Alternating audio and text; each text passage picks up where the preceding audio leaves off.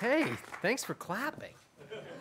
And you got my slides up already, I think. How are you guys? So nice of you to come out. I would be outside. It's so nice out. It feels nice to me. Anyway, we were in Paris all last week and it was cold. Cold. Does it feel cold to you guys tonight? Well, thanks for having me, Tracy. Really lovely. What an amazing institute. I wish I lived here. I would come to all of these things. Incredible. You guys might get Philip Glass in 2016. I hope it's okay if I say that. Pretty great. And thanks, Jonathan. What a lovely introduction. And thanks to all of you. Yeah, so I'll maybe I'll talk and show you pictures for 20 minutes. And Tracy asked if I'd read. That'll take like three minutes, and then we'll have a conversation. I hope you guys can take part in it if you're interested. All right, you ready? Uh, I was an unusual kid. I could never make up my mind about stuff. I grew up in landlocked Ohio in the United States, but I collected seashells. By the time I was 10, I knew the number of every single player and their name on the local football team, the Cleveland Browns, but I also would go to bed reading Charles Darwin and Carl Sagan. When people would ask what I wanted to be when I grew up, my answer would depend entirely on whatever book I was reading at the moment. I'd read Call of I read Call of Wild and then I Call of the Wild and I decided I needed to be a mail carrier in the Yukon. That lasted about a year. Then I read a book called Paper Lion by George Plimpton, and I was determined to become a punt returner in the NFL. Apparently, I was also into flowers. I asked my mom, she sent me two photos of me as a kid, and both I'm like watering flowers and all around flowers. For a year, I kept an aquarium full of frogs and tadpoles and bluegill in my bedroom because I'd read 20,000 Leagues Under the Sea and I was determined to become a marine biologist. Then someone bought me a book about Frank Lloyd Wright, the architect, and I promptly traded the aquarium for Legos and started building houses and telling all the neighbors that I was going to become an architect. In college, I took Latin American studies, nutrition, and astronomy. I took the history of film and the civil rights movement and religious studies. To me, the course catalog was kind of like an all you can eat buffet. There was not a thing in there that I did not want to put on my plate.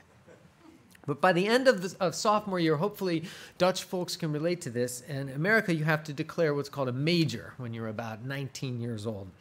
So I made an appointment, I actually made an appointment with the assistant dean of my college to talk about the errors of such a strange stipulation. The assistant dean was a tall, severe woman in a green suit, and she told me that she wasn't prepared to abolish the policy of having students major in subjects and started flipping through papers on her desk. I if perhaps she could cut down on the number of courses I'd have to take in my major so that I could maybe take more electives. She asked me if I knew the definition of the word dilettante. I said no. She said, look it up. Then she said that next time I come into her office, I might be more persuasive if I wear a different shirt, one that had sleeves. Which is advice I took tonight, you notice. I reluctantly decided to focus on history. I declared myself a history major, but before I graduated, I still managed to sneak in Russian and constitutional law and environmental science. All of which meant that when I graduated, all of my friends went and got jobs, and I drove to Telluride, Colorado, and cooked calamari in a deep fryer and skied moguls every day for 80 days straight. Then, uh, so I was 22 then, I think, 21. I drove to New Jersey, where my uh, oldest brother had, he had just finished two masters and a PhD at MIT, which is a very elite engineering school. He would never, ever be accused of being a dilettante. and he had been hired as an optics researcher at Bell Labs, which at the time was the most prestigious lab you could work in. He showed me his lab, which was full of lasers, none of which I was allowed to touch. And then he took me upstairs into a dark room and he flipped a bunch of switches on a big machine and he turned on a monitor and he showed me this. Anybody guess what that thing is? What is that? Adams is a good guess. It's not right. It is the eye of a housefly viewed through an electron scanning microscope. The machine was a very, very expensive electron scanning microscope. The uh, simple, each compound eye of a fly um, contains between like four and 6,000 simple eyes. I wonder what it was like looking at this. I was just amazed. I was wondering what it was like for the fly's little brain trying to synthesize all these different visual inputs if it was like a security guard scanning hundreds of camera monitors. Here you can see it zoomed out a little bit. One of my brother's colleagues came in and he said, Here's something that after it leaves its pupal stage lives at most 30 days, usually about two weeks if you see a fly today, maybe a two week lifespan as an adult. And yet, 65 million years of evolution have given it far more sophistication than the most complicated aircraft we can really dream of building. Then they showed me this. Everybody know what that is? It's a knife. Very good. It's a dust mite. That is a dust mite that was on the housefly. These things thrive everywhere. These creatures, a single gram of dust contains about 250 of these animals that I can easily double and feather pillows, which you might want to think about before you go to bed tonight. yes. You're welcome. Uh, I wonder, what does that thing know? Does it know it's even on a fly? Does it feel like this? I saw that and thought if the dust mite rides on the housefly, what rides on the dust mite? Sometimes you get stuck in your own head and your own life, in the scale of your own days Monday, Tuesday, Wednesday, Christmas, New Year's. You forget that yours is just one way of experiencing the world. You forget what's possible. I'll just show you a few other examples of things viewed through an electron microscope. You want to try to guess what that is? Velcro. Velcro. Well done, Jonathan. That is Velcro. This one's harder, I think. We want to guess what that is. That is salt and pepper. How about that? Yeah, it's disgusting, right? It is. That is a human eyebrow viewed through an electron microscope. Right? Gross. How about this? That is used dental floss. it's awful, right? And beautiful, but really mostly awful. I'll just leave that up there the rest of the night to haunt you. That night, I went back to my brother's apartment in New Jersey and started writing in a notebook about what he and his colleagues had shown me that day. I tried to communicate curiosity, amazement, the simple grandeur of a housefly and, and how it's really its very body communicated the refining power of eons of natural selection. What I was trying to do is render a sense of wonder in language, but I was an inexperienced writer, very inexperienced, and mostly what came out was more along the lines of that. even though it would be years before I could publish any of the things I was writing, before really I could even admit to myself that I wanted to be a writer when I grew up, I started devoting whole notebooks to recording the things that amazed and interested me and that switched up my sense of scale and helped me understand my place or our place in the larger scale of geologic time or cultural time. So I'll just give you a few examples. Anybody know what kind of bird that is? It's a tern, it's a type of tern. It's an Arctic tern. I bet you can guess who painted it a French American painter. Yeah, John James Audubon. Very good. Anyone want to try to guess the average weight of an adult Arctic tern? I, am going to have to do it in American figures. I'm sorry about that. 14 pounds is heavy. That would be heavy. Guess. Three ounces. The same as this. Same as this dry.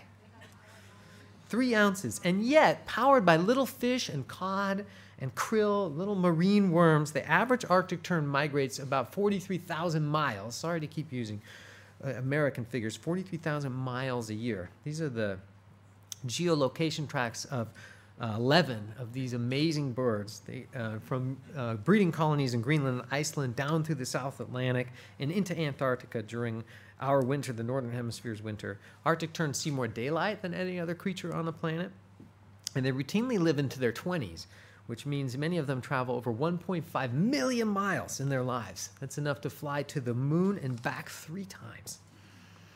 That's one kind of scale. Here's another. Has anybody seen a photograph of this tree before? A woman named Rachel Sussman is doing this very interesting project trying to take pictures of the oldest living things on Earth. And this is old Tjikko, and he is a 9,550 year old spruce, a Norway spruce tree in Sweden one of the oldest trees on Earth. This trunk uh, sprouts back and dies about every six centuries or so, but its root system has been dated back to 7,550 BC. You know, invention of writing and recorded history about 4,000 BC.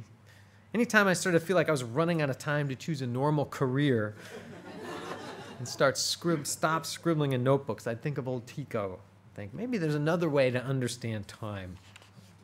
I'll give you a couple more examples. What's the most abundant vertebrate on the planet? I was wrong. I thought it might be chickens. Anybody want to guess? You have to think about something with a backbone. Anybody want to guess? Can't be insects. I thought maybe rats, chickens, a lizard, us, maybe, Homo sapiens. There might be 50 billion chickens on the planet. But I was thinking, of course, in a very narrow sliver of possibility. I was thinking about terrestrial animals, and I was forgetting about the ocean. The bent tooth bristlemouth is the most common vertebrate on the planet. It's a tiny bioluminescent fish that lives in deep ocean water, and very, very few of them will ever see the light of the sun.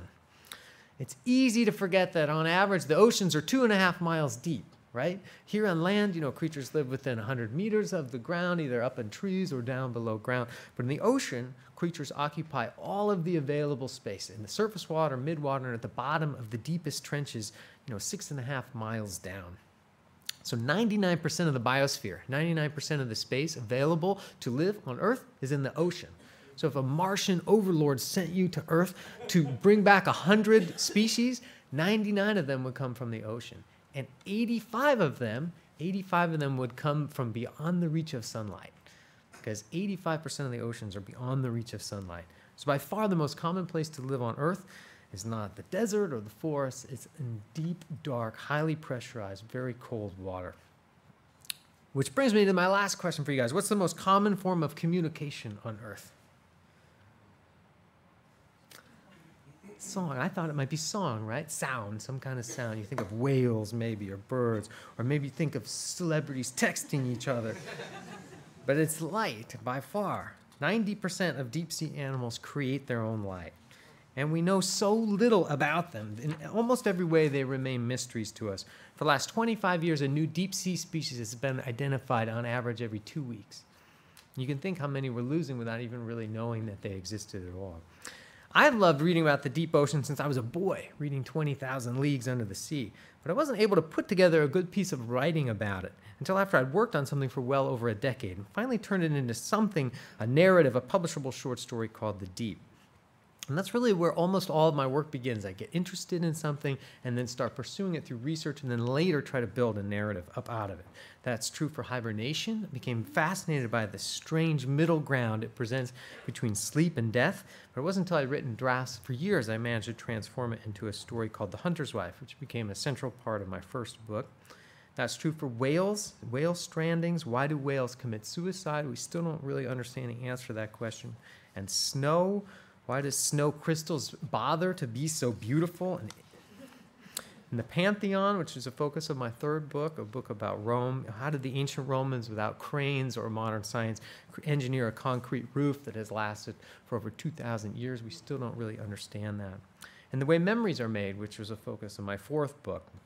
Why do certain memories remain intact in Alzheimer's patients while others wither? For years, I was trying to find these things that fascinated me and that helped me see the world in an unfamiliar way, things that seemed like unplumbable mysteries. But it wasn't until I tried to build stories up around them that anybody became interested in what I was writing.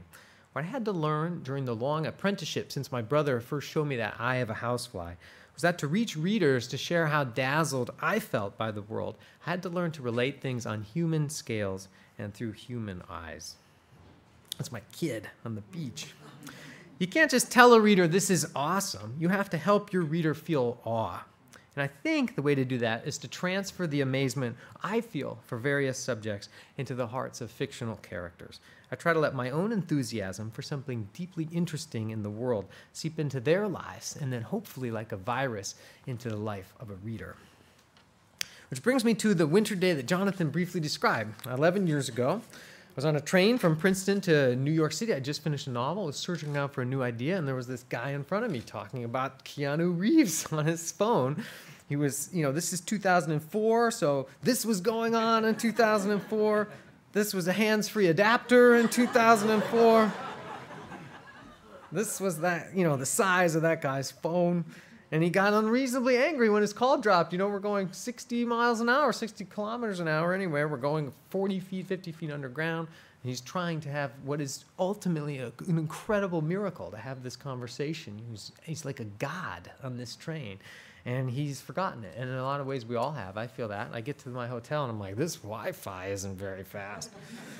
it's ridiculous, right? You know, he's using two little tiny radios, a receiver and a transmitter crammed onto something, you know, no bigger than a deck of cards. Send and receive little packets of light between towers, one after the next, miles apart at the speed of light. And he's using that magic to have a conversation about Keanu Reeves, you know.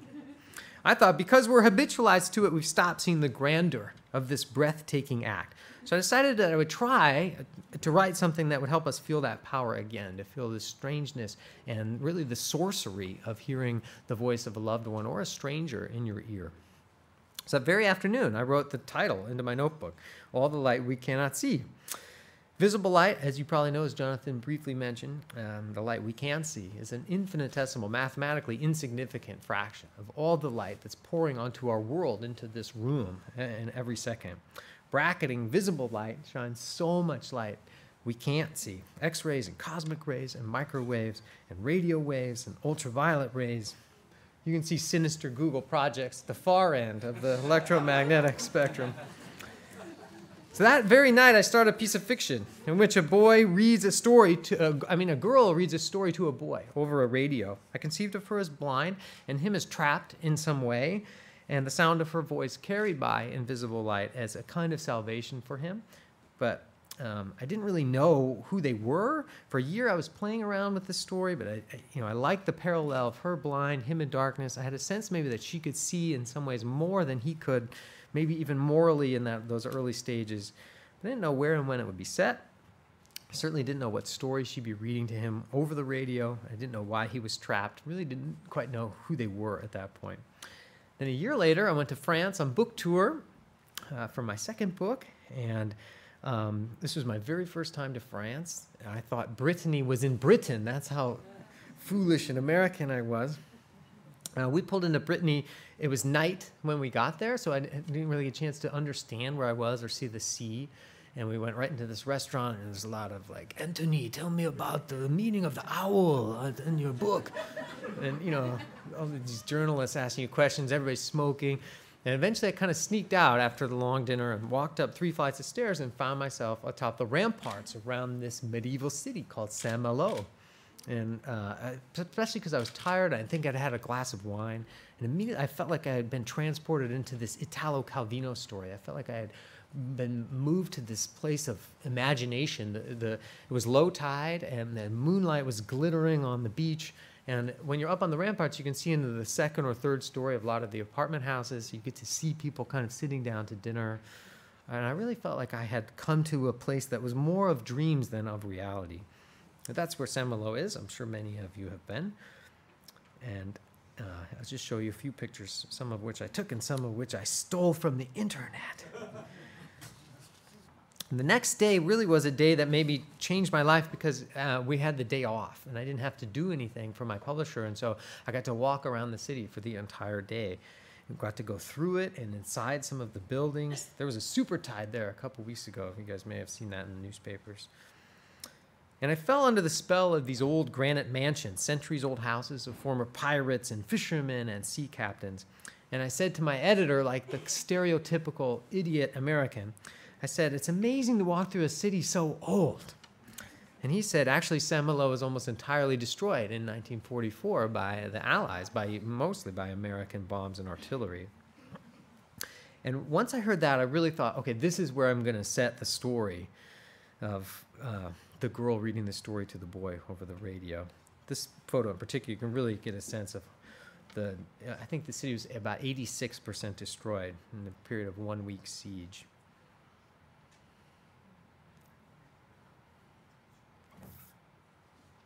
There you can really see it.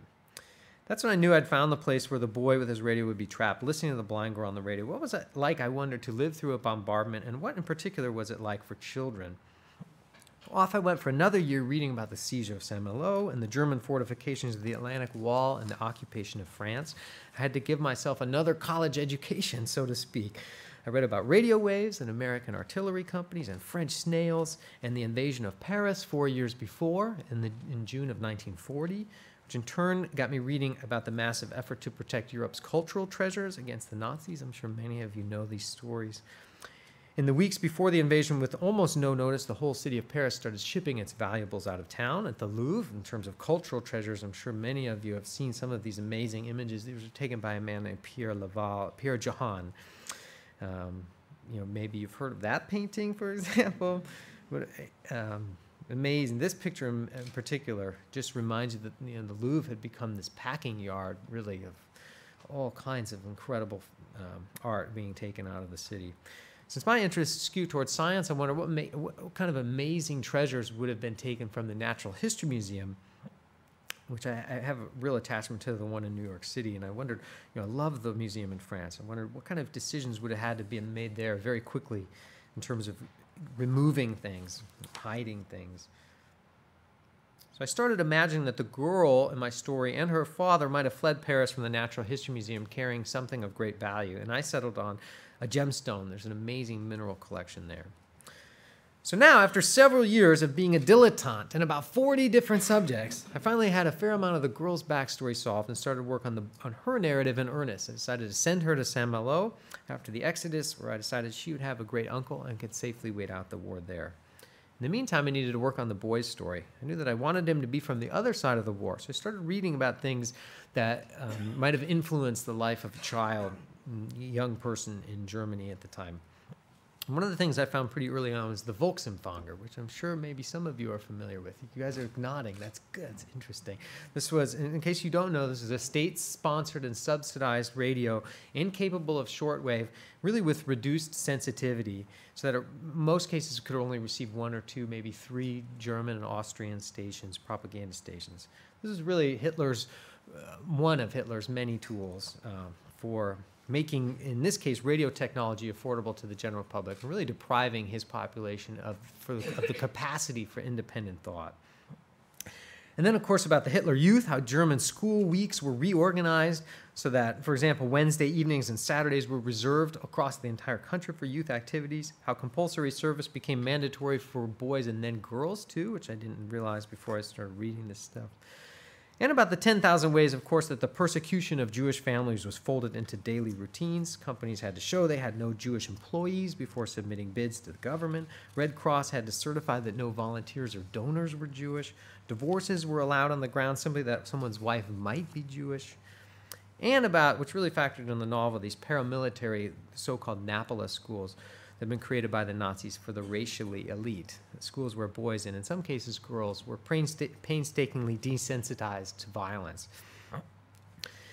All along, I kept asking myself what would become one of the central questions of the book, which is is it right to do something just because everyone else is doing it?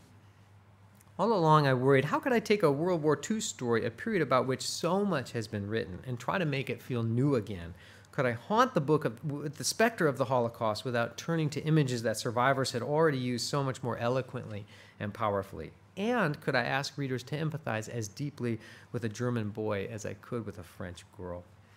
I was six years into this project and pretty much convinced it was going to fail when I came across this photograph. This was a boy named Hans Georg Henke. Has anybody seen this photograph before? Yeah, okay, interesting. Uh, I wasn't sure if it was ever a famous photograph or not. It appeared in an American magazine called Life. He was 15 years old here in 1945 when he was captured by the United States Ninth Army. His father had died in 38 and his mother died in 1944, and he had joined the Luftwaffe to support himself. He was a member of an anti air squad. I was not used to feeling empathy for German citizens during the war, and indeed, in many ways, during my education, I've been encouraged not to. But I pinned this photo uh, to the wall of my office and decided to try to use the lessons I've been learning all along as I was coming up as a writer, try to invest some of my own passions in the boy, particularly the amazement I felt and feel at the miracle of radio. You can really see that here his uniform is probably too large, maybe inherited from somebody who's been killed. And you also start to think, you know, at least in my imagination, I wonder all these things he's been told, perhaps even on a radio like I just showed you, are starting to not pan out. And really, everything that he's believed in is starting to crumble around him. There are 187 very short chapters in that book. Many of them are shorter than a single page, and I alternate back and forth, for the most part, uh, ping pong style, between the girl, who I named Marie, and the boy, who I named Werner. And the book embraces my childhood love for lots of things puzzles and flowers and birds and mazes, and it took me a full decade to solve all the puzzles of its structure. In many ways, it was like going through the college course catalog again, trying to teach myself bits of German, trying to understand how military occupations worked, how the Atlantic Wall was built. One day I'd be learning about how bunkers were fortified, and the next I'd be trying to imagine what kind of meals a Breton housekeeper might have cooked with ration tickets in 1943. Eventually, I kept reverting to the lessons I'd already learned to try to invest in the particular and specific humanity of the characters I was creating, that the path to the biggest questions runs through the smallest particulars, that any journey toward the universal runs through the individual. I'll finish before I do a little tiny reading uh, with a quote from Wisława Szymborska. You guys know her work in Holland? Amazing poet and um, really an important voice and she won the Nobel Prize in 1996, I think it's right. This quote was beside me almost the whole time I was writing the book. We all use phrases, she said, such as the ordinary world, ordinary life, the ordinary course of events. But in the language of poetry, nothing is usual or normal. Not a single stone and not a single cloud above it. Not a single day and not a single night after it. And above all, not a single existence not anyone's existence in this world. Without stories, we become trapped in the prison of the familiar. All we would know is the normal me and the stereotype, the other. In fundamentalism, the collective is everything. We is defined against they. The collective defines itself by lumping other people into collective oppositions systematic hatred, whether it's perpetrated by slave owners or the Nazis or the Taliban or the radicals that we're, at least in the States, are currently calling ISIS, that depends upon objectifying people into groups and dismantling its adherents' abilities to understand and share the feelings of other people and minimizing the complexity of the individual. But in novels and stories and poems, we celebrate the individual novels, I believe, are uniquely qualified to offer compassion and empathy and attentiveness. In a good novel, openness is inherent. The lesson of every single one of my favorite books is this the truth is more complicated than I thought. Reading and writing stories is not, despite appearances, about spending a lot of time by yourself. It's about learning to be able to look beyond the self, beyond the ego, to enter other lives and other worlds. It's about honing your sense of empathy so that a story might bridge the gap between the personal and the communal. I hope it's not too crazy to suggest that through fiction and poems we can help combat unilateralism and stereotype, deepen our experiences of life, and even in incremental but important ways nudge the world toward goodness.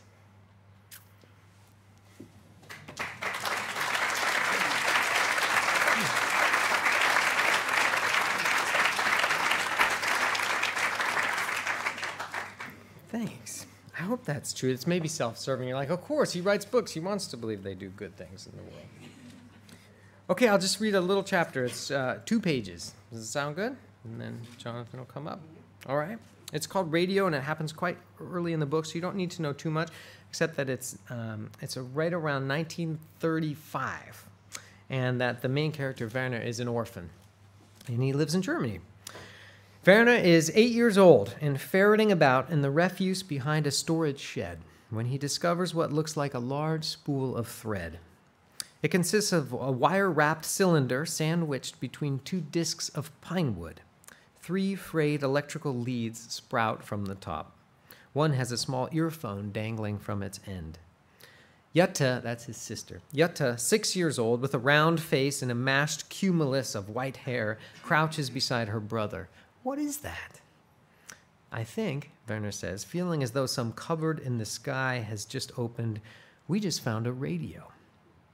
Until now, he has seen radios only in glimpses a big cabinet wireless through the lace curtains of an official's house, a portable unit in a miner's dormitory, another in the church refectory. He has never touched one. He and Jutta smuggle the device back to Victoria Strasse number three and appraise it beneath an electric lamp. They wipe it clean, untangle the snarl of wires, and wash mud out of the earphone. It does not work. Other children come and stand over them and marvel, then gradually lose interest and conclude it is hopeless. But Werner carries the receiver up to his attic dormer and studies it for hours. He disconnects everything that will disconnect. He lays its parts out on the floor and holds them one by one to the light. Three weeks after finding the device, on a sun gilded afternoon when perhaps every other child in the neighborhood is outdoors, he notices that its longest wire, a slender filament coiled hundreds of times around the central cylinder, has several small breaks in it. Slowly, meticulously, he unwraps the coil, carries the entire looped mess downstairs, calls Jutta inside to hold the pieces for him while he splices the breaks. Then he rewraps it. Now let's try, he whispers, and presses the earphone, earphone against his ear and runs what he has decided must be the tuning pin back and forth along the coil. He hears a fizz of static. Then, from somewhere deep inside the earpiece, a stream of consonants issues forth. Werner's heart pauses. The voice seems to echo in the architecture of his head. The sound fades as quickly as it came. He shifts the pin a quarter inch more static, another quarter inch, nothing. In the kitchen, Frau Elena needs bread. Boys shout in the alley. Werner guides the tuning pin back and forth. Static, static. He is about to hand the earphone to Jutta when, clear and unblemished, about halfway down the coil, he hears the quick, drastic strikes of a bow dashing across the strings of a violin. He tries to hold the pin perfectly still. A second violin joins the first. Jutta drags herself closer. She watches her brother with outsized eyes. A piano chases the violins, then woodwinds. The strings sprint, woodwinds fluttering behind, more instruments join in. Flutes? Harps? Werner? Jutta whispers. He blinks. He has to swallow back tears. The parlor looks the same as it always has two cribs beneath two Latin crosses, dust floating in the open mouth of the stove, a dozen layers of paint peeling off the baseboards, a needlepoint of Frau Elena's snowy Alsatian village above the sink. Yet now there is music, as if inside his head an infinitesimal orchestra has stirred to life. The room seems to fall into a slow spin. His sister says his name more urgently, and he presses the earphone to her ear. Music, she says. He holds the pin as stock still as he can. The signal is weak enough that though the earphone is six inches away, he can't hear any trace of the song. But he watches his sister's face, motionless except for her eyelids. And in the kitchen, Frau Elena holds her flower whitened hands in the air and cocks her head, studying him. And two older boys rush in and stop, sensing some change in the air and the little radio with its four terminals and trailing aerial sits motionless on the floor between them all like a miracle. I'll stop there.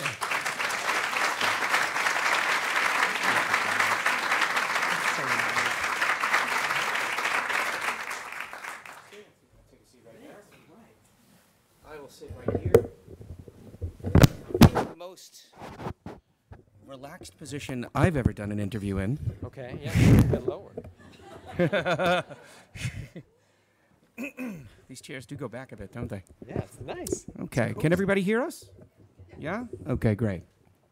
So, uh, I guess the first question that I, that I have to ask you, based upon this uh, presentation that you've given and uh, also the passage that you chose to read, is, and also given the fact that I worked for many, many years in a shortwave broadcaster, which is when you were a kid, did you spend a lot of time with the headphone pressed to your ear, tuning, tuning, tuning, trying to find that voice in the dark? I did. Um, mostly because I wasn't allowed to. I had a strict bedtime, and I loved baseball. And in the summer, the games would go past my bedtime, and I would sneak up. I had a crystal radio that I had built from a kit, and I would sneak up and say, "Oh, I'm going to bed, mom," and then under the covers, I would listen to the ends of games. And then sometimes I get very excited and yell, and I think maybe my parents figured it out and kind of tolerated it. And then later, as I got older, I would go. I loved scanning, especially shortwave, and trying to see how far away you could get a broadcast. And yeah, I mean, it's just an amazing thing to hear the voice of a stranger very far away, living a totally different life. Suddenly, it's the same role books had for me too. It's suddenly you, you're open to all these other possibilities.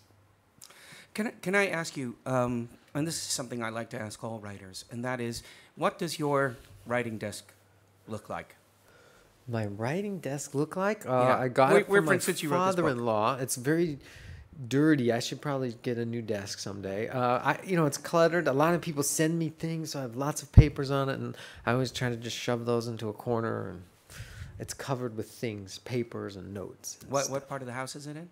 I rent a, an office outside of my home because at home I have too many things to procrastinate with. Yeah.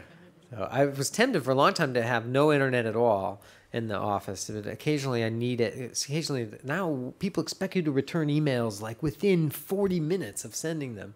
So occasionally now I have to send emails or large attachments. And I use the internet for research in some ways, especially photographs. I think uh, the access to archival photographs for historical research is amazing and it's instantaneous. And I live in a pretty remote part of the United States in Idaho and so being able to look at photos of old things very quickly is an amazing thing. Where were you when you wrote the passage you read? At your desk?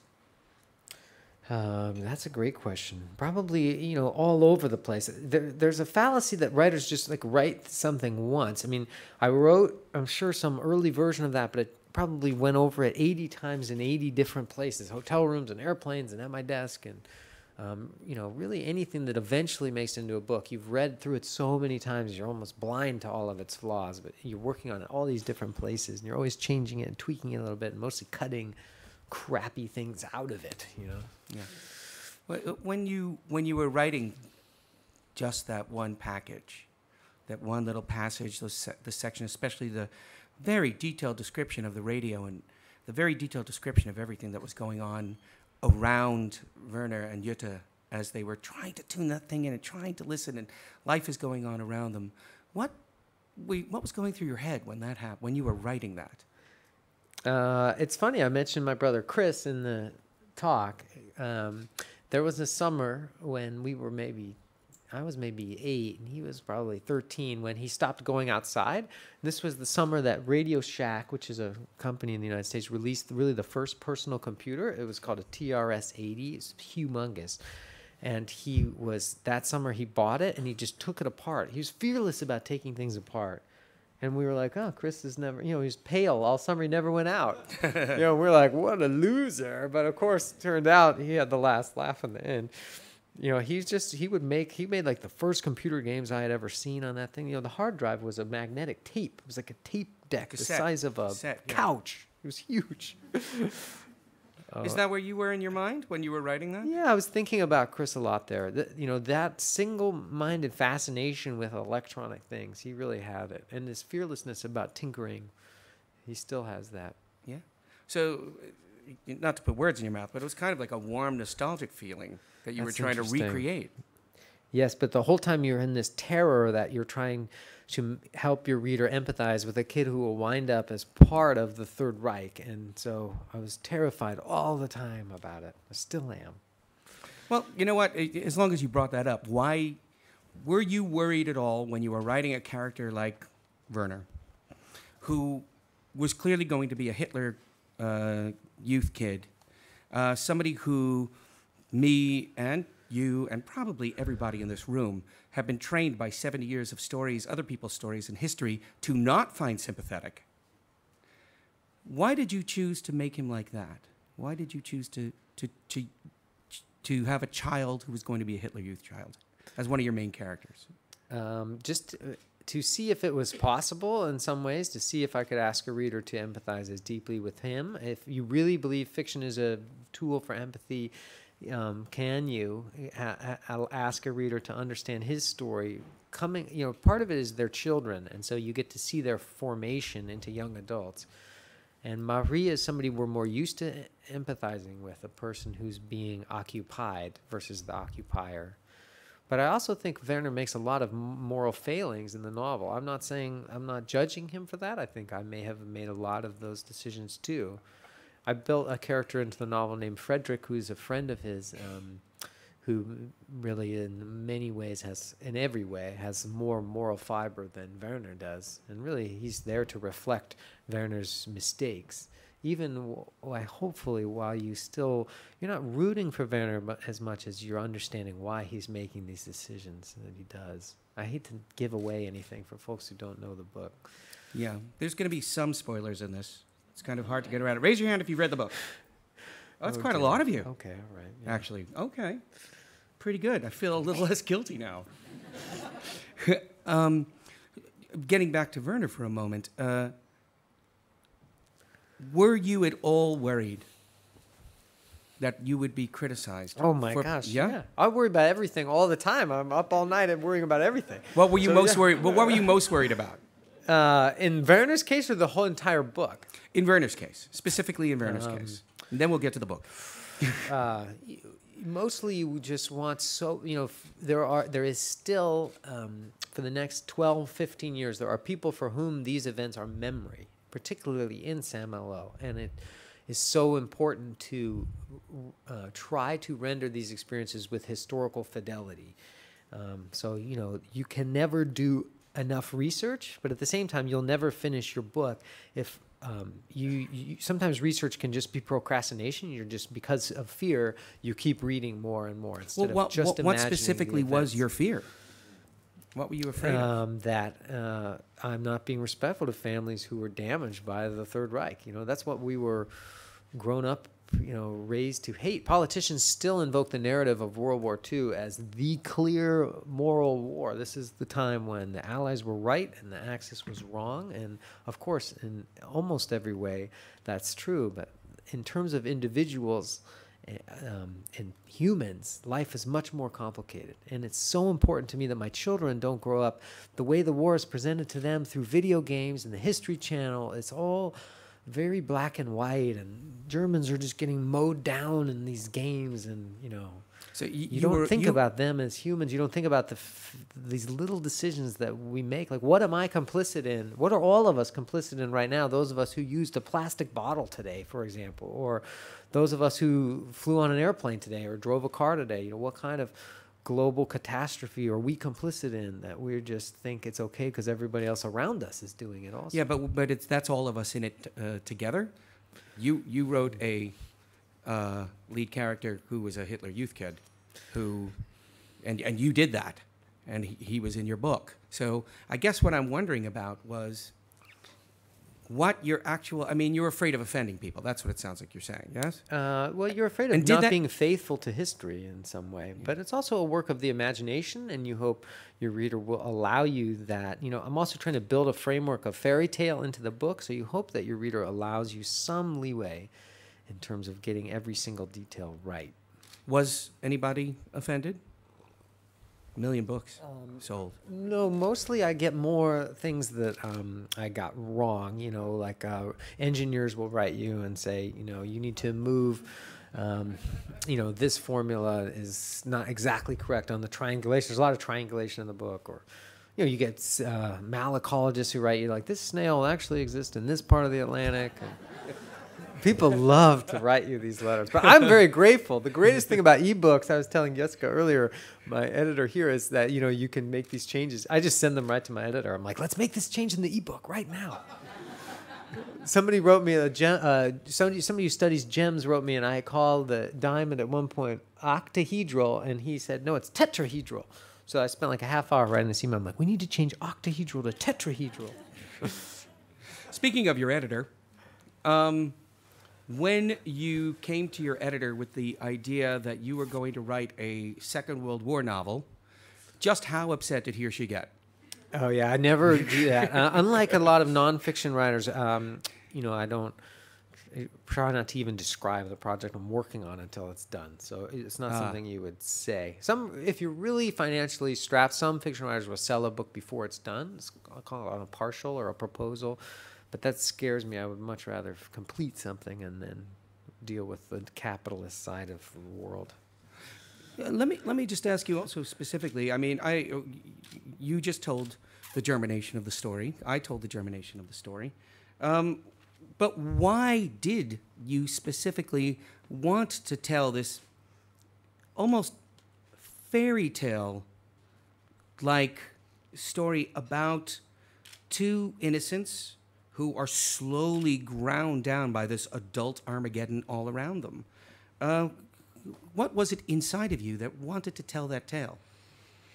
Um, that's one of those questions that you know um, people you, you can't really choose your subjects. Uh, you know those decisions are subconscious, and um, you know I'm, I don't know why I'm fascinated by radio as much as you know I just always have been, and I can try to articulate that only through telling the story. Really, you know, it's rare that you ever sit down as a fiction writer and think this is my subject, and now I will decide why this will be my subject. You just start playing around with it. You know, really, all of art making is some kind of play. It comes out of playfulness, and whether you're moving paint around on a canvas, or moving notes around on the piano, or moving images around on a screen, or in the writer's case, moving words around and sentences around inside paragraphs, you're mostly making things. Then you sleep, you wake up, you try to understand what this thing is you're making, and try to make it a little bit stronger, and then go to sleep. It's really interesting because you went back to radio again, talking about your book. But it seems to me that radio is, in your book, a method that you use to tell a, a much greater story about what I feel is the loss of innocence, um, the, the, the, the complication of life. Somehow you managed to achieve this almost, as I said, fairy tale like quality throughout the book. Um, but it doesn't seem to me that your book is about radio. What do you, what do you think about that? Um, that's again, that's something uh, critics are far better at than artists. I think you know I can't.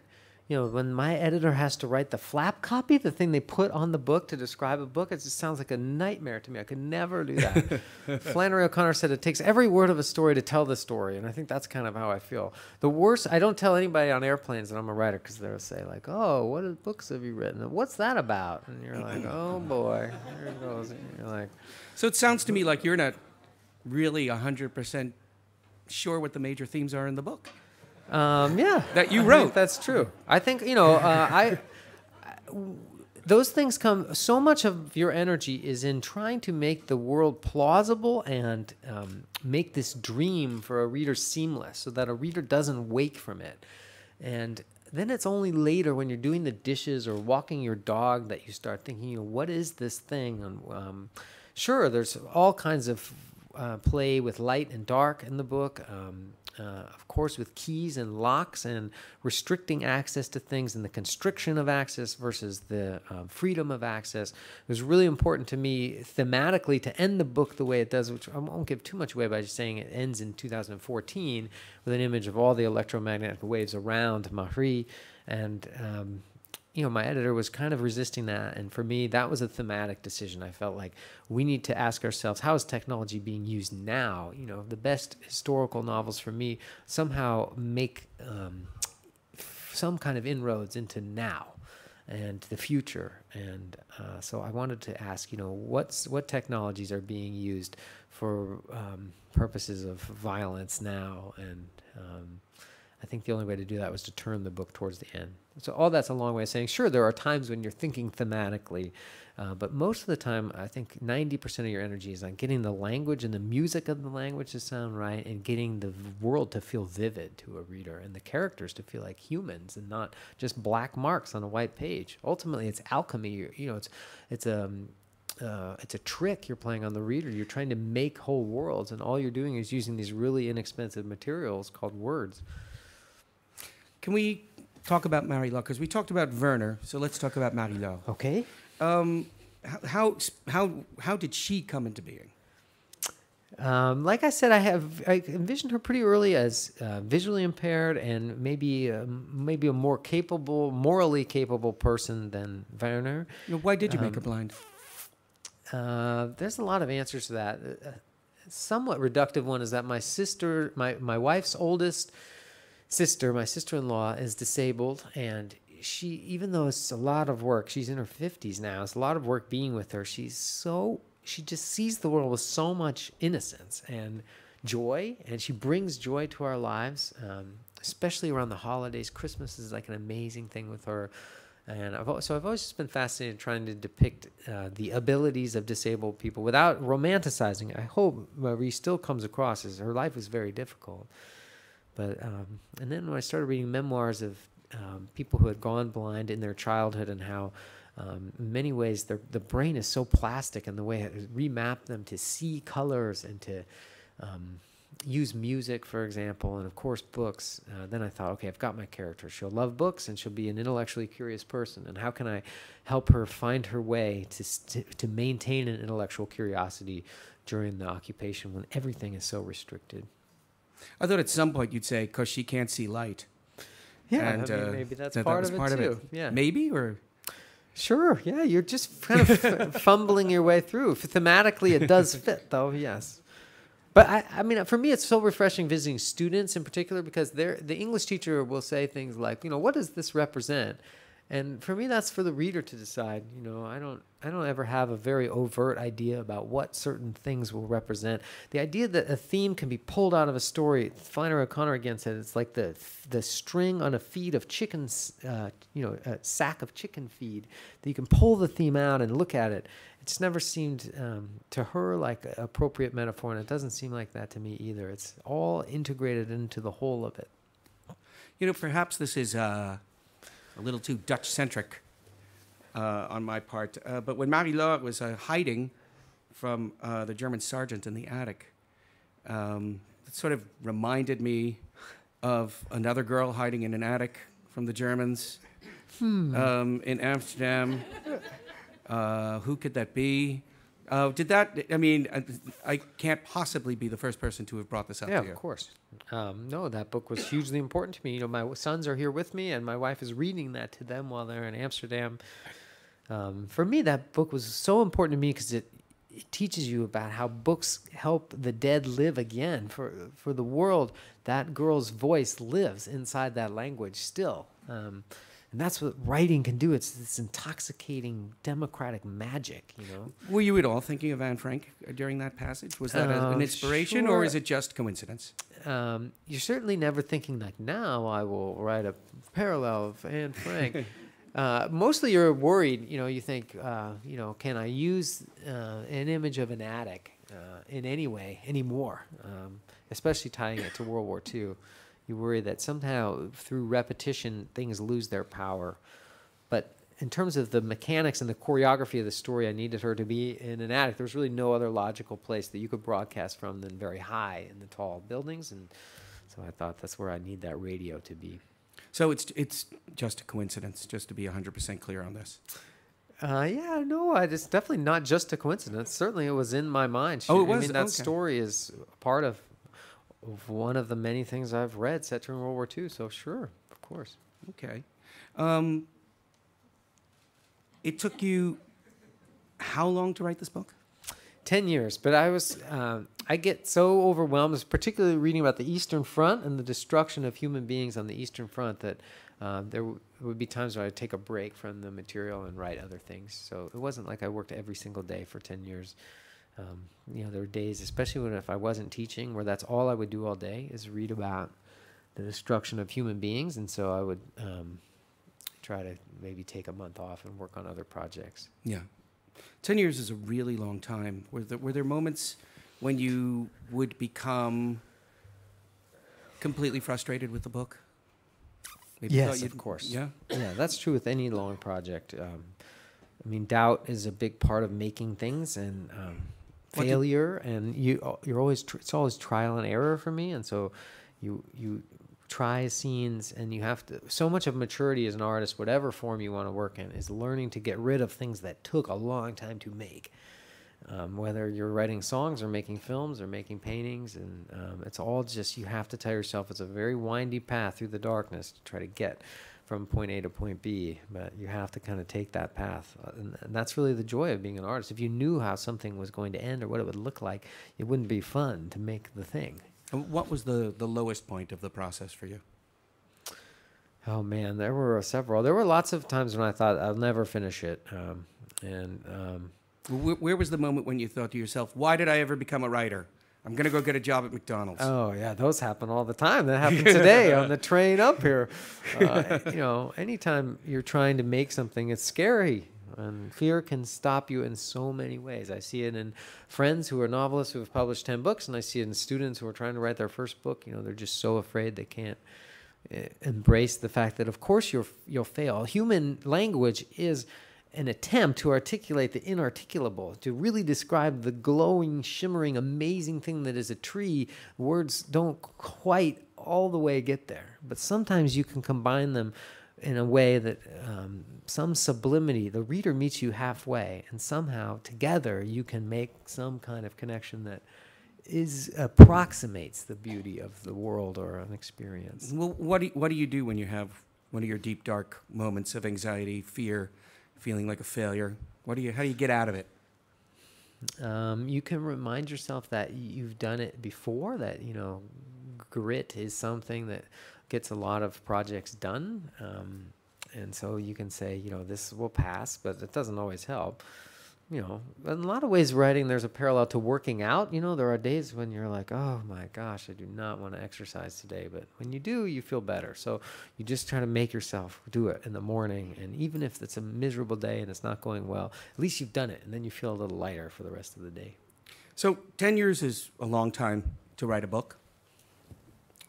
How did you know you were done?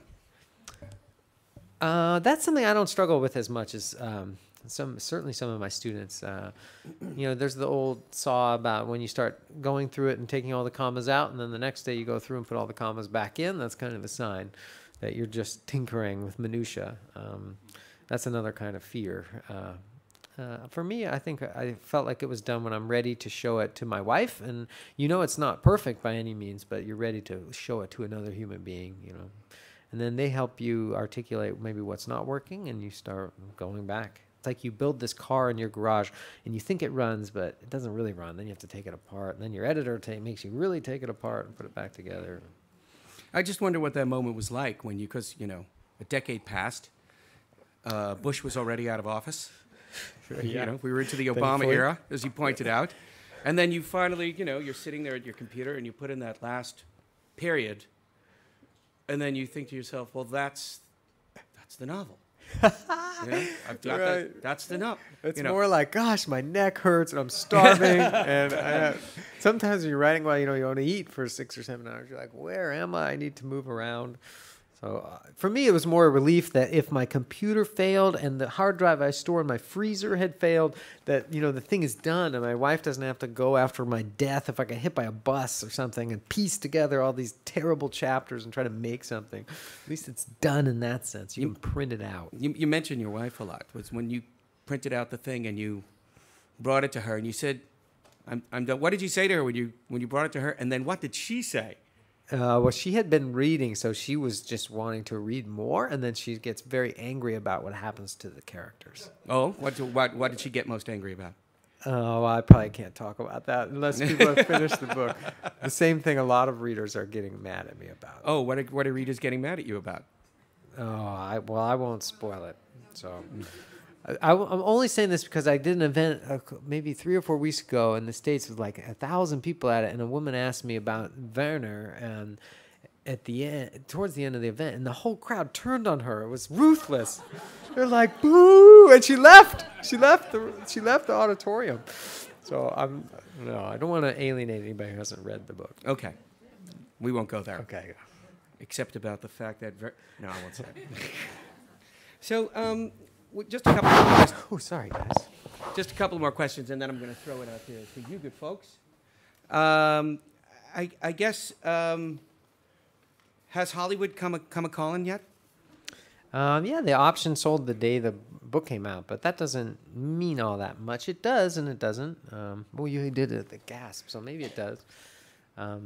You know, with same thing with stories. When an option gets sold, it's exciting, but I've learned to realize that it's impossible to make a film, and you need so many pieces to fall in. And I'm much more interested in prose.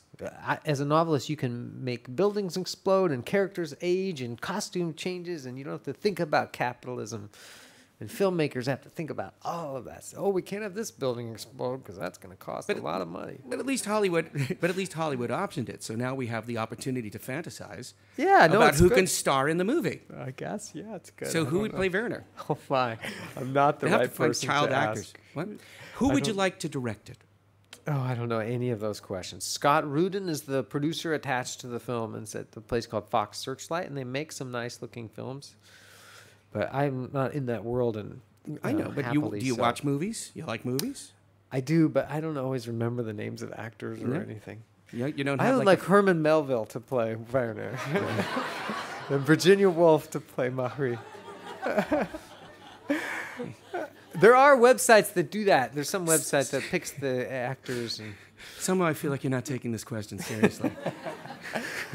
I think it's good to let uh, you know collaborative arts fascinate me, and I'm very jealous of them. You know, um, um, making stories by yourself is a strange and lonely thing, and I love that filmmakers get to have an actress contribute. You know, the a scriptwriter can kind of have what she says, but maybe she changes the line, and maybe the director changes the line, and I get quite jealous of that. I think that would be an amazing experience to be a part of. Certainly at the theater, I think it's so neat to see a play change so much depending on who stars in it, who directs it.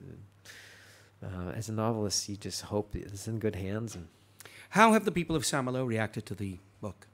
uh, it's a good question. It comes out on May May fifth, sixth, something like that in France. So I'll get to go. There's a festival there. That's why I originally went. Uh, so I'm excited to do that event and see friends and see the city. And you know, the city's on the jacket of the French edition, so it'll be interesting to see. Okay. So I'm going to take this now. I'm going to come out to you folks. Is this on? Is this on? It is? Okay. Uh, does anybody have a question? And I will come to you. Yes, ma'am. I come down to you. What's your name? Did you want to stand up? What's your name? Maddie Baking. Okay. And your question is? Can- Do you want me to hold it? Or, okay. I'll hold it. Okay, thanks. Um, so I'm going to not ask any of the questions I'm dying to ask that will give things away. Ending. Okay. So, um, in the way the novel is structured, where you flip back and forth between different years, and then there are these short chapters, and then of course there's the gem that you referenced that we won't talk about that is in you know moves around. Yeah. I was um, wondering if you were um, intentionally paralleling kind of the puzzles and the models that Marie uses and that her father makes for her that she opens every year. Um, and if that was something that, or how that came to be, and one, if you are kind of modeling it after that, and two, how you made that decision. And I won't ask the other questions. Okay, thanks, Maddie. That's a nice question. Um, yeah, Marie's father builds puzzle builds little maquettes of cities for her, but also uh, puzzles. And yes, very intentionally, I was trying to play around with puzzle making and um, uh, really make the reader kind of try to solve a puzzle along the way. Uh, also, I um, I knew I'd have to break chronology quite early because I'm asking the reader to do. Um, quite a bold thing in that the the main characters don't meet until about page 450 they're not in the same room. And so i thought th- this is too much of a risk. I need to at least suggest that they'll be in the same town. So i thought at least if i open by saying yeah, they're pretty close to each other reader and now you're going to watch them get closer. In some ways it's um, i have a friend a writer named steve almond who says um, suspense is when you take a gun out of your bag and set it on the table at the beginning of a class and say, at the end of class, somebody will get shot with this gun. And surprise is you have the whole class, and at the end, you pull the gun out and shoot somebody with it. And I much prefer suspense. So I think it's a little more interesting to say, you know, they'll be close to each other and just bear with me for these next 400 pages, and I promise they'll intersect. But it was also very liberating to make that decision because I thought, okay, nobody will read this. Nobody's going to put up with this. So then suddenly I'm free. I don't have to worry about uh, alienating my reader. My mom and my wife will be the only people who read it, and that'll be okay. And yeah, so then in terms of continuing that that A B back and forth, that ping ponging, I just kept thinking of it as plates spinning. You guys know what I mean? Like plates spinning on poles and magicians trying to get like six or seven of them going. I wanted to, you to keep Marie and Werner in their childhood and in their young adulthood, all of that in their mind. Maybe Von Rumpel, this character also spinning in your mind. I felt the only way to do that is to keep going back pretty quickly and touching each plate and keep them all spinning and see if I could do that in a reader's mind. It asks a lot of the reader. So then I try to be generous in terms of white space by rewarding the reader with these long breaths between these kind of lyrical sections of the chapters. What, what do you mean by white space? Could you just White space define is that just um, sure. You know, anywhere if you look at a book and you see on a page, uh, you know, white space is placed there aren't words. So any, you know, if you're ending a chapter early, if you have dialogue, you know, those are more reader-friendly sections, and it's not necessarily something healthy to think about being friendly to your reader all the time. But I do think about a reader has a certain limited amount of energy, and where do you want to put her energy? Do you want it um, focusing on the language? Do you want her to be seeing images? Do you want her to be paying attention to the fact that language is telling this, the way a writer like William Gass or sometimes David Foster Wallace or Virginia Woolf wants you to? In most cases, I want the language to disappear and images to come to the reader. And uh, occasionally, I want the music of the language to overwhelm the passage, and then I think it's friendly to give the reader a break. So that's what I mean by white space. Next question. Ah, I'm going to go all the way to the back, and then you, ma'am. Yeah. So your name is, Uh, Yvette Sendus. and your question. So, first of all, I wanted to say to me it was a radio book because I was another one of these kids who was trying to get Australia on shortwave, and now I'm a radio astronomer, so I'm trying to get Oh, signals really far away. That's amazing. But uh, thank you. But uh, the thing for me, uh, there was a very big parallel for Werner. He's actually had the same first name as another very important Nazi figure at the time, Wernher von Braun. Which, for anybody in the audience who's unfamiliar, he was basically the man who invented the V 2 rocket, which attacked London. He used uh, slave labor, in part, uh, Jewish people built these rockets. But then the Americans later forgive, forgave him and he sent us to the moon. He built the Saturn V rocket. Uh, so I was wondering because he's one of the most you know complex characters I think at that time in uh, technology. Were you thinking about Wernher von Braun when you were writing Werner's character? Uh, that's a great question. Um, only in terms of, uh, well, f- first of all, Thomas Pynchon's novel, uh, Gravity, Gravity's Rainbow, really, I mean, it, uh, you know, it's a really important book to me. Maybe when I was twenty, so that was always a, a- an influence, a huge influence. And then, uh, in terms of naming Werner, um, yeah, I like names to have some level of meaning, and you think maybe I can invoke for a reader who has that association in her head, maybe you can make that association.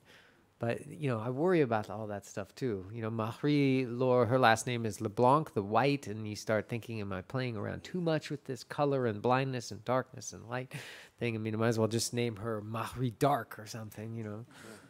Uh, so you, sometimes you can be a little too heavy-handed and overt. So yes, if a reader wants to make that association, I'm grateful for it, and I'm glad it's available to her. But I don't want to force it either. Can I ask you an admittedly unfair question? Yes, everybody, turn around now and look at me. Um, if you had to pick, because you write about science as well, you write a, a column, I write about science books. Yes. yeah. If you had to pick, would you want to be a novelist or be a science writer? That's what I was saying. My whole talk. I've done my whole life so that I don't have to choose. I, organized my entire life to avoid that decision.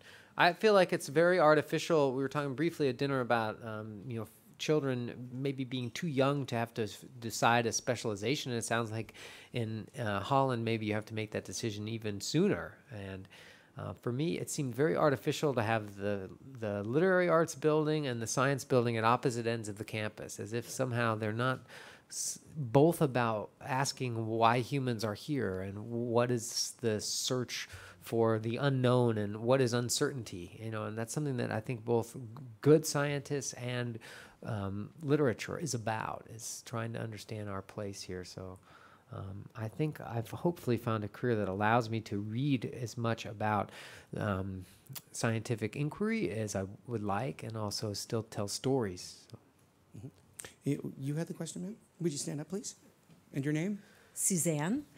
Uh, I, first of all, I just wanted to say we this is our book group from the American Women's Club. Oh, great. And we just had a little meeting, and we're, it's just thrilling to be here to hear you speak after enjoying the book together.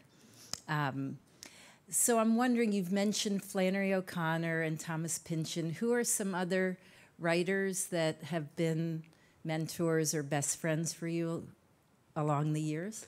Yeah, thanks, Suzanne. Um, certainly, in terms of living writers, um, the writer from the American Southwest, Cormac McCarthy, in terms of his attention to landscape, you know, I'm, um, in terms of a best friend, I've never met him, but I've, he's the one of the few living writers. He, he, he and J.M. Coetzee, the South African writer, who every book they write, I will buy right away and read. Maybe Ishiguro too, although I haven't read the newest one. Um, That's our next book. Oh, it is. Oh, yeah, good. I've heard all kinds of different, strange things. I love how surprising he is. It's got magic and dragons in it. It's called The Buried Giant. Um, and, uh, there's a Canadian poet named Anne Carson who I adore. I think everything she writes is fascinating. She's um, she's a classicist also and translates um, from Latin and Greek, I think. And her poetry is beautiful. She's been a big influence. There's a writer who n- not enough people read named Andrea Barrett. Has anybody here read? Oh, yeah, you know. She's wonderful. It's amazing. yes, yes. She has a book called Ship Fever and then The Voyage of the Narwhal. Um, she was when I found her and she was telling stories about scientists or historical scientists and telling fictional stories about them. I felt like it gave me such permission to do that. She pays attention to the natural world in a way that, say, um, a lot of nonfiction writers who I'd loved coming up, like Aldo Leopold or Annie Dillard or Edward Abbey, you know, wrote about, um, even Wordsworth. And I thought, oh my gosh, I can maybe make stories and pay attention to science and nature. And uh, so she, gave, I feel like she gave me permission to do that by reading her work. Those are three living writers, anyway. Yeah.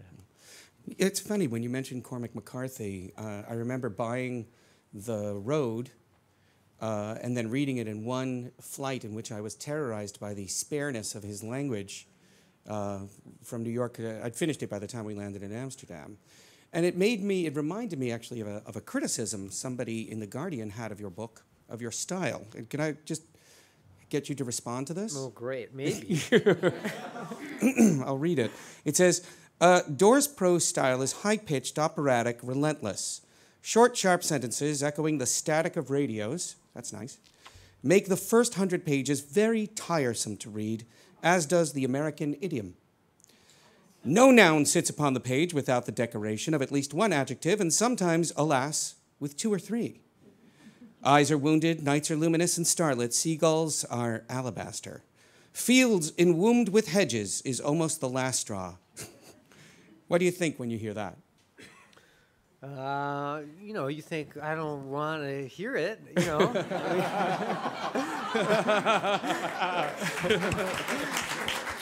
I mean, it's fine. It's um, it's life. You know, that's what making things and putting them out into the world of capitalism is about. But uh, yeah, I mean, it's painful. Anytime you make something, th- this book in particular has really changed my feeling about reviewing. I, you know, reviewed fiction for the New York Times for a while, and um, you just realize, you know, people are taking such a risk with their lives to make things, and um, it's better just to give something no attention. I think if if you don't um, appreciate it, and you know, try to find things. So that's what I try to do in my column of science books, especially if the book isn't working for me. I, you know, I feel like such limited space in the newspaper anyway. I'll just try to find a book that is working for that particular month. You know, that I can write about. Next question. Anybody? I'll come over there. Okay. Anybody have a question?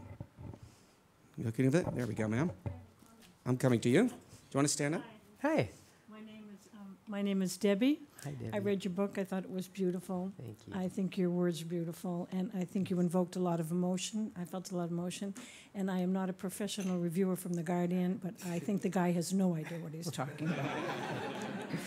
Thank you. That's nice, Debbie. Thank you. Anybody have a question? Coming? Yep, I'm coming to you, sir. Our first gentleman of the evening. Your name, sir? My name is Nick. Um, I was so I'm uh, uh, doing a university bachelor degree in uh, pre med, so biomed, but I also uh, do creative writing on the side. And I was wondering um, what advice you have to sort of uh, enter the industry. I guess, yeah. Good. Do people tell you not to do that, or people t- telling you to choose? I don't know. They just mostly tell me to just write what I want, but Oh, yeah. good. That's good. I think that would be my advice: is to read and read and read and write. Um, it's like any muscle. The more you use it, the better you'll get. And um, especially uh, when you're young, read. Just find. Um, Atul Gawande. He's an American doctor, Indian American, who writes beautiful. He's got a beautiful book about death out right now. Um, you know, find models like that. There's a, um, of course, Chekhov. There's a writer named Ethan Canin. Uh, all these medical doctors who are writing fiction. You know, Chekhov is the premier example. You know. Um, find those examples of people who are trying to pursue both paths that seem opposite to people and read and, and you know relish in language there's nothing what could be better than a medical doctor who can communicate very clearly to his or her patients through story you know cutting for stone is another book um, what is that writer's name uh, abraham verghese yeah he's a medical doctor who writes fiction as well. Next question. Does anybody have it? Yes, ma'am. Your name is? I am Karen Door. Oh. I'm born in, uh, in Holland. And um, your story resembles the story of my father, who was a radio technician in Wow. Rotterdam. really? Um, in he was 16 when the war started, and 21 when it finished, and he was doing the um, um, high technical school in Rotterdam, and he was a radio technologist. So this was Wow. a very very strange story to me. Um, uh, this is the Door family in Holland. And my father uh, went to the States um, about 25 years ago to live there. So it's, it's funny.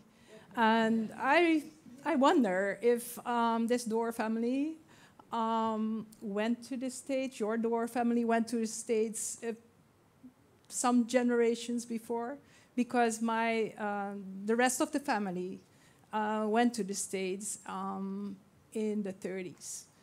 And only my uh, grandfather, Abraham Bo- Dorr, stayed Wow. and passed the war.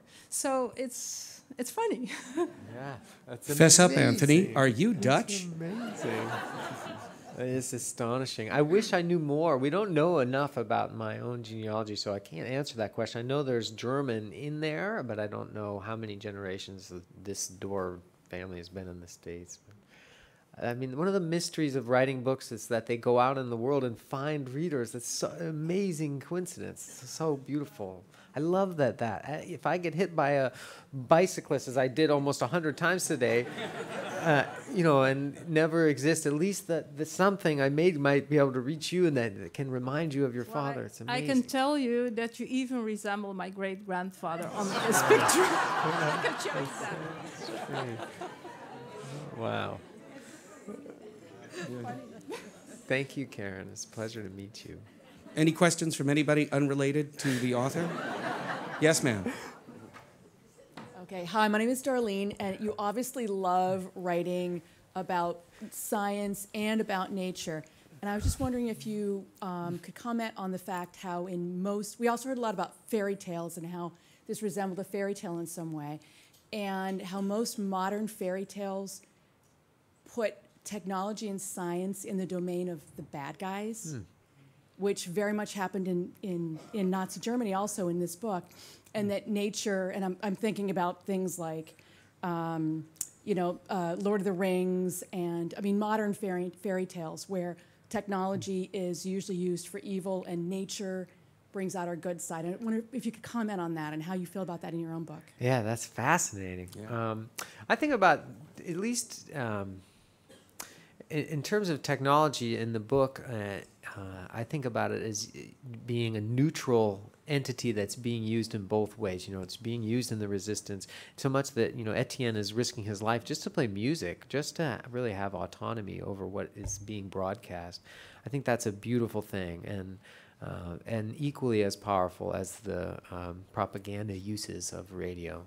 But while I was working on the book, I'm going to get some of these things wrong because I haven't thought about it until you brought it up for years. But um, there was supposedly um, in the genocide in Rwanda, you could map the levels of violence by the um, the strength of radio broadcasts and how um, radio personalities were really fomenting violence, and that once you were outside the range, you really uh, the violence dropped off significantly. know, there's such a graphic way, especially when you see these maps in this paper of how you know technology is really serving evil in that sense, and that immediately makes me think of ISIS and these strangely polished videos that they're making now. And how they're being used to radicalize and separate people, and, and kind of like I was trying to talk about the end of my talk, how they're used to minimize the complexity of individuals. Um, so yes, in those senses, of course, um, it fits your thesis that yes, in fairy tales, technology is a sort of vehicle for evil. But at the same time, I think about all the miracles. You know, my children were going to be in Europe for almost three months, and they're able to text their grandparents pictures and say, "This is the Louvre, Grandma," and instantaneously. You know, that's an amazing thing, and they still feel connected to their friends and family at home. Um, you know, I, I wouldn't change that. I wouldn't change the access we have, the demo, democratization of information that outside of um, places, some places in China and Russia where state media is really controlled, lots and lots of people are finding ways to educate themselves because of technology, and that's a bright thing, and that's a good sign. Yes, sir. Your name? Hi, I'm Jan Bruckner. Um, I'm a social scientist, and I, I write a lot of stuff. I, I write journal articles, technical papers. And I think of it as a creative act, sort of like writing fiction. But I wonder, uh, since you were obviously one foot in sort of science writing and, and that type of thing, what do you think the connection is between technical scientific writing and writing fiction? Hmm.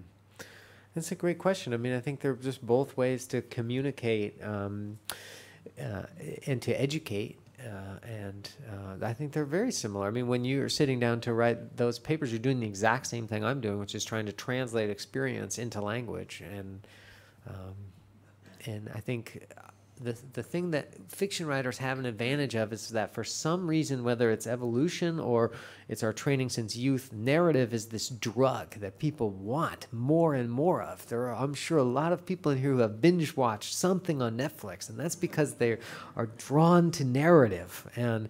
Uh, for me, you know, even the greatest explicators, whether it's literary theory or it's evolutionary theory, they're somehow using narrative. Somebody like E.O. Wilson or um, Richard Dawkins, um, they're somehow tying into that drug, that that um, withholding information and giving information towards the end of a narrative, this shape of an arc and a resolution that uh, I'm drawn to. So I think, you know, of course there are similarities, but anytime there's narrative, my attention goes up a little bit more. I want to know what's going to happen to an individual in a story. And that's why I choose to tell stories, I think, because I like reading them. I hope that answers your question. Uh, next question. Anybody have a question? Let me turn around. Anybody from the back there? Because I haven't gone there yet. Oh, I haven't missed it. Ah, I'm coming to you. Here I come.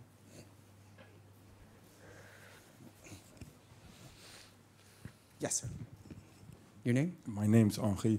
I had actually two questions. Uh, your house, when you were growing up, what kind of home was it like? What were your parents like? Because it sounds fascinating. Uh, my mom was a science teacher, and my dad uh, runs, still runs a printing company with four employees. They make decals that go on trucks, big stickers, and we were surrounded by books. And um, in many ways, um, uh, I worry for my children in that they have so many options for what to do on a weekend or after school. You know, there's so many video games they can download or, um, you know, shows to watch just alone on Netflix. You know, we had three channels growing up. We had an antenna on the roof and we had three channels. And uh, so we were outside all the time. And we lived in a pretty rural area of Ohio and, you know, fishing and swinging from trees all day long. And, and my mother just trusted us to keep ourselves alive in a way that I wish I could with my own children. Like evolution is not programmed to die, but I keep thinking like they're going to tip off into the canal at any moment, you know. But they're going to be fine. But they, I just, I can't help myself from worrying about their location. I think somehow fear is so much more of a part of parenting, at least in the United States now, than it was for my mom and dad. And um, so yeah, my dad would get home from work and he would maybe ask us some questions, but he would also make a drink and sit down for dinner. And I get home and I'm playing with Legos with them and go out to the driveway and playing basketball with them right away. And I, it's just different, I think. But I hope that I'm giving them some autonomy to, you know, I think I think you were saying, Jonathan, to get out of the way. You know, that's like the best parenting is just to get out of the way in some ways. Yeah. Um, does anybody have another question? A burning question that must out? No? Then I think we more or less come to the end. So I'm going to ask my, my final question here, Okay. which is uh, you know, a lot of people have read your book. I think a lot more are going to read it. Certainly, a lot of people here tonight are going to go read it. Uh, and by the way, you can go to the back and you can buy it as well. Maybe, maybe even get it signed. Yes? Sure. Um, but what is the one thing you want people to think when they read the last word on the last page and close the book? What's the one thing you want them to think or feel? Oh, that's nice. I mean, I can be flip and say that they didn't waste their time. You know, that's I just feel, but I do feel that so much. When my first, um, uh, my publisher in the United States is a publisher called Scribner. It's a very old publisher. And they published um, uh, Hemingway and Fitzgerald. And uh, when I my first book got taken, uh, I went to New York City to give a reading, and you know, I thought this is it. Like I've got, I'm 28 years old, and I've got the one of the oldest publishers in the United States. Like I've made it. And then I think it was my second reading on this little tour, and it was in New York City, and it was in a Barnes and Noble, which is a very big chain bookstore. And the reading was like on the fifth floor, and I take these escalators up, and there's just books all through those floors, just going past me, and you know they're all big and you know many of them are face out, and they have you know maybe like three copies of my book, and they're all spine out, you know, on the shelf, and they're just lost in this multitude of books. And I remember thinking to myself, I'm like, you have to be as generous as you can in every sentence and be as careful as you can in every sentence because you're so lucky that a reader is willing to spend even one half hour of her life with your book. And that she has so many other alternatives, uh, better alternatives. She should just be reading Edith Wharton right now, not you. so uh, the fact that she's willing to get there, I feel like I, I owe it to her to try to uh, reward her with being as careful as I can with research and language and uh, reminding her of the strange miracle of being alive. And so um, I hope that you feel like that she feels like she hasn't um, misspent her eight hours that she spent in the world you made. Ladies and gentlemen, Anthony Doerr.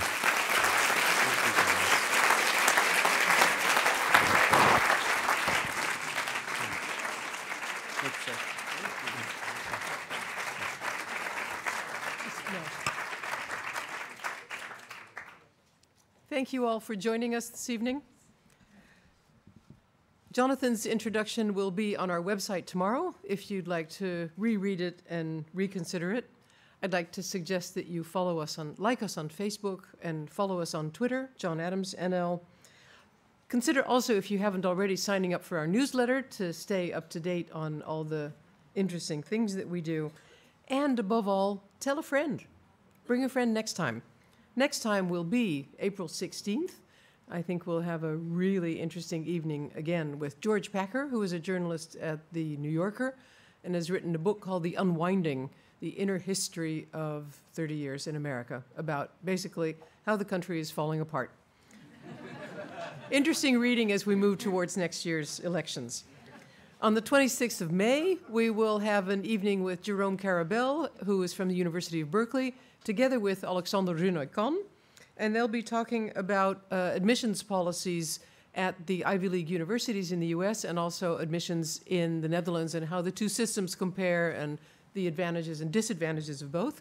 We'll be holding that at the International School in Amstelveen, and I'm happy to say that the International School's director, Ed Green, is here with us this evening.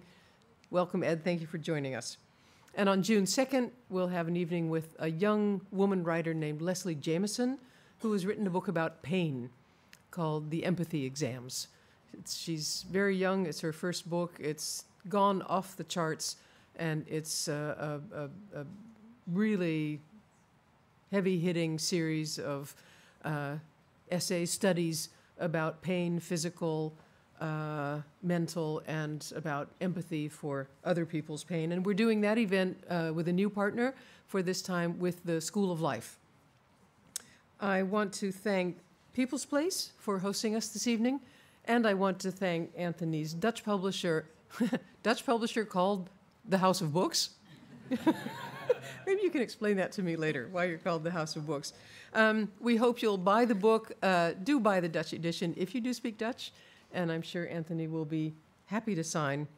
And uh, I just wanted to end the evening by telling you a couple of wonderful coincidences I discovered just this evening sitting here listening to Anthony Doerr. I too wanted to be a marine biologist. I gave up on that when I discovered that it was very cold and very dark, way down deep in the sea. And then I decided that I would be a truck driver.